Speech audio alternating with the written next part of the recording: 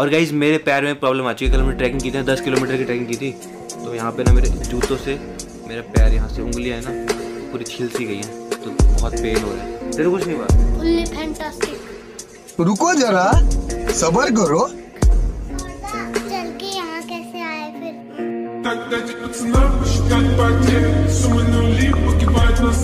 शाबाश बेटा बहुत बढ़िया। आपको आज का ब्लॉग पसंद आएगा पसंद आए तो channel. You guys hit the number. We'll vlog. Thank you so much for watching.